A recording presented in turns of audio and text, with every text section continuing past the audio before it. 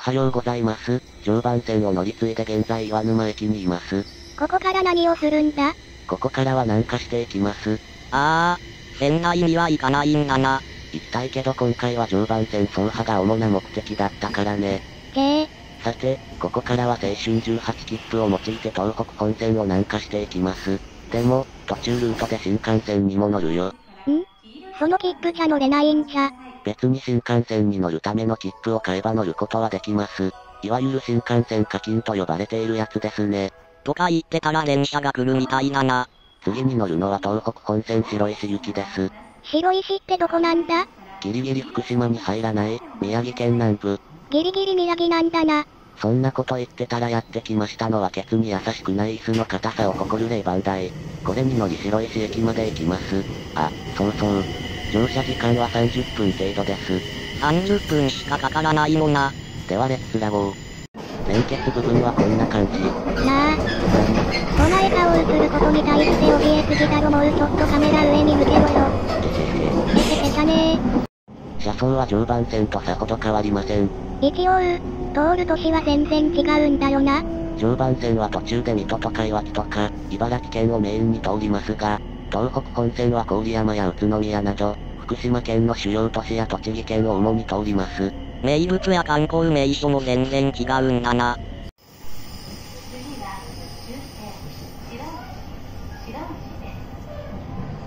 列車はあっという間に白石駅に到着します。ここからさらに南へ行くんだろ？そうそう、ここで乗り換えだよ。次はどこまで乗るんだ？次は福島駅まで乗ります。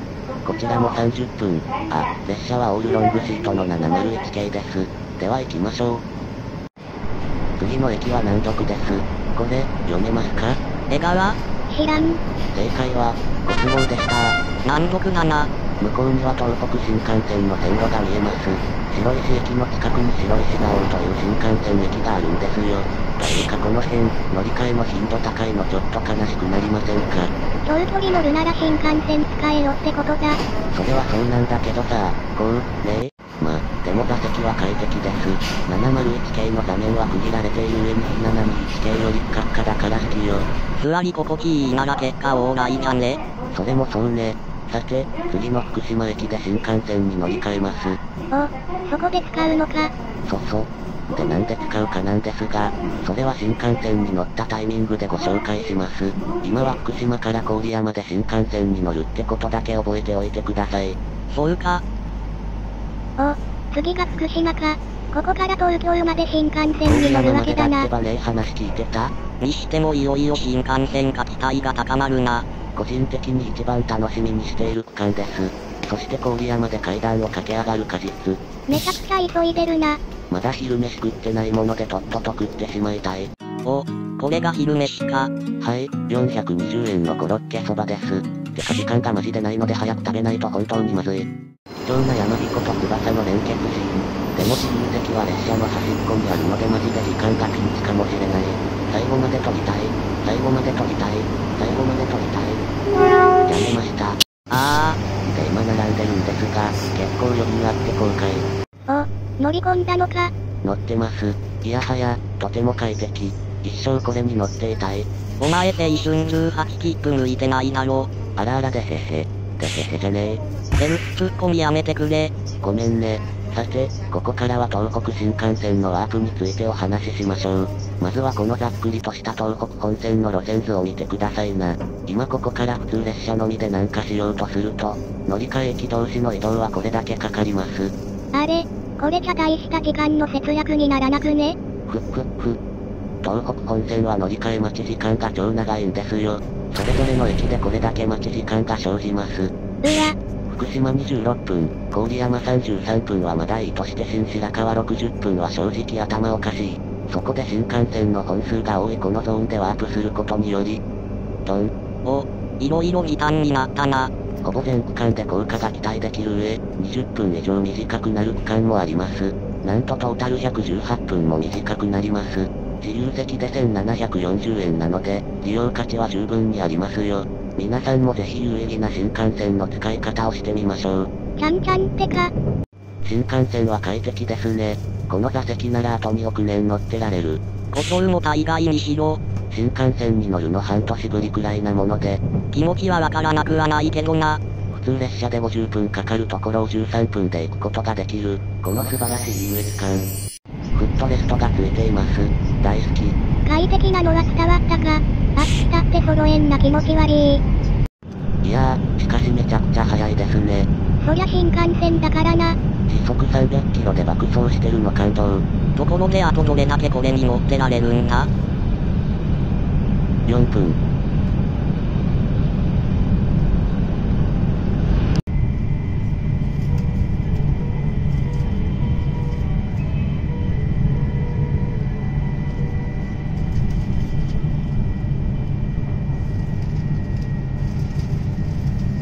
まもなく郡山水郡線磐越東線磐越西線はお乗りになります郡山の次は宇都宮に停まります時間に余裕はあるけど、トイレに行きたいので少々ラッシュ気味です。あと手っ取り大会で勝利したい。頑張れ頑張れー。頑張る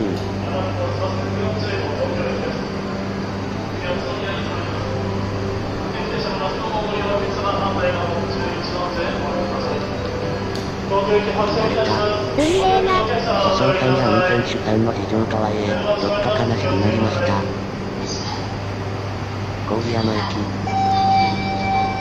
僕もこれに乗って宇都宮まで行きたい。諦めろ。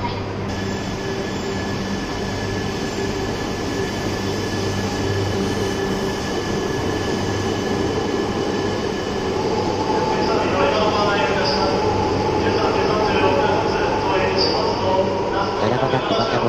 行っちゃったな。はいはい、こちら郡山駅です。次は13時50分か。てなわけでこちらの電車、701系に乗って新白河まで行きます。もうすぐ東北地方を脱出してしまうという事実に戦慄している夜メロンさんです。すべてを受け入れて帰路につけ。いやはや。しかし、新白河から先なんですが、いかんせん列車に東北地方口座がないんです。というと、なんだ？首都圏の車両が平然と走ってる。てなわけで新白河です。待ち時間が36分あるんですね。お、36分あるなら観光できそうだな。一体どこに行ってきやたんだっぱり麺類は正義ですよね。なあ。何？お前水戸でもそば食って福島でも食ったばっかりだよな。いやなんか食べておかないとなって。脳みそ働いてるか？さて、味の感想に移りましょう。まず見るからにうまそうな具材たち。おお、確かにこれはうまそうだな。そうそう、なんというか味わいは古き良き昭和っぽい感じもあって、非常に美味しかったです。お値段は660円でした。どうした？トイレ行きたい？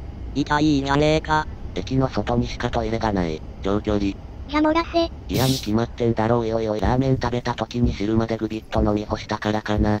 間違いなくそれだろとにかく今やばいでございます。お、あれは黒いソイトイレじゃないですか。電車のことをトイレって呼ぶのやめろ。やってきましたのは E531 系ワンマン列車。E531 系は常磐線で散々乗ってきたやつでう。ではトイレへダッシュしましょう。ダッシュで、おトイレ、スッキリだー。説明。もう好きにしろ。てなわけで新白河です。黒磯ってどの線だ？栃木県の北の方ですね。う。もう関東入りか。てなわけで行きましょう。さっきからドアが開いたり閉まったりしてるな。電車に間に合うように乗ってくれよなてなわけで現在倍速しております。お前も頭の看板に倍速スピード書かれても見づらいんだ。どうにかならないのか。もう倍速終わるしいいじゃないか。は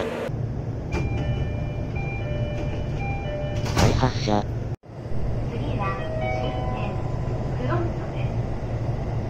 の区間は新白河と黒磯の間に4つしか駅がないので大幅カット。次の停車駅は黒磯です。新幹線駅がありません。ないのか？やってきましたのは宇都宮1205系。かつて、南関東を爆走していた車両です。もう関東に来ちまったんだな。ちなみにこの電車の前面はメルヘン顔と呼ばれています。205系の顔はこれ系が多いのですが、この205系はそれとは全然違うデザインです。では宇都宮駅に乗っていきましょう。黒磯駅を発車した電車、次の駅は那須塩原駅でございます。那須塩原駅は新幹線の駅にもなってます。おお、栄えてる駅なんだな。新幹線駅だからといって栄えてるわけではないんですぜ。ああ、まあ、そうか。あ、そうだ205系の椅子は柔らかいです。お、座り心地良さそうだな。と思うじゃん角の席で姿勢よく座るとホールド性が微妙で少し座りづらい。と考えると209系の椅子って座り心地よかったんだな。僕は209系のクソ硬い椅子なんて認めない。てなわけで今回は東北本線の新幹線ワープでした。ダイヤをしっかり確認してからワープしろよな。それと昼飯は計画的に食えよ。はい。ではご視聴ありがとうございました。